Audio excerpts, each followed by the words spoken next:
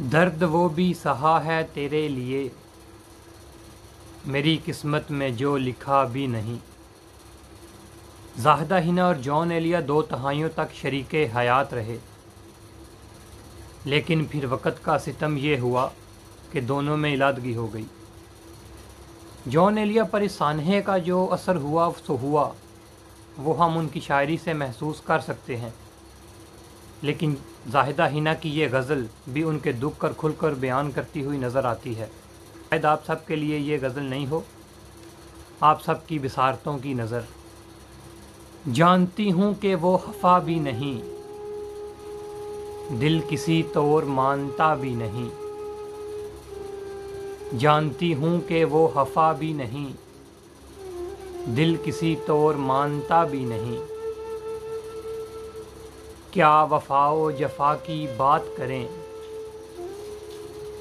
क्या वफाओ जफा की बात करें? दरमिया अब तो कुछ रहा भी नहीं। दर्द वो भी सहा है तेरे लिए। दर्द वो भी सहा है तेरे लिए। मेरी किस्मत में जो लिखा भी नहीं। हर हर तमन्ना शराब बनती है। इन शराबों की इंतहा भी नहीं। हाँ चिरागा की कैफियत भी थी कभी। हाँ चिरागा की कैफियत थी कभी। अब तो पलकों पे एक दिया भी नहीं।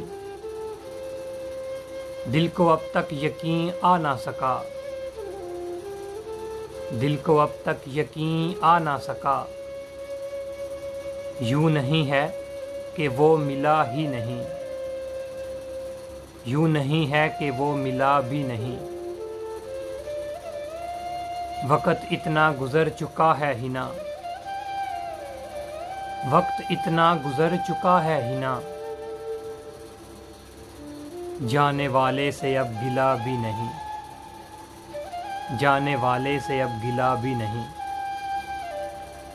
तो आप जाहिदा हिना की गज़ल से अंदाज़ा कर सकते हैं कि जॉन एलिया से बिछड़ने का गम उनको भी जितना जॉन एलिया को था, उतना ही जाहिदा हिना को था।